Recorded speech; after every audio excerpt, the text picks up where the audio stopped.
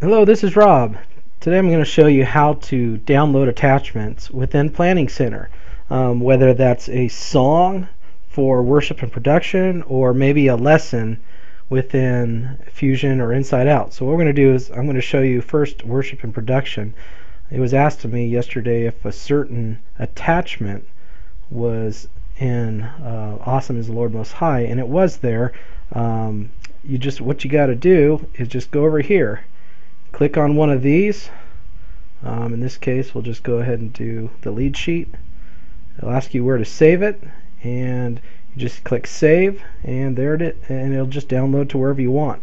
Um, you can open it up there. The other way it, within say like Fusion or let's just let's go in inside out uh, May 18th we'll just use that as, as an example um, so what you're going to do is you're going to go down, scroll down on the bottom, there's the plan attachments. There's a student handout and there's the teacher handout. So I click on that, same thing.